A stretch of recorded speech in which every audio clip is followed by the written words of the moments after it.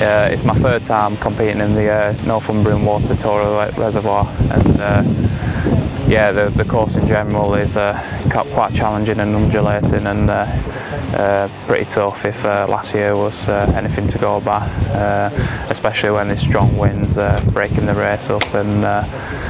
but um, I'm sure Team Wiggins has got a, a, reasonable chance of getting a fantastic result because we've got some very strong riders within the team.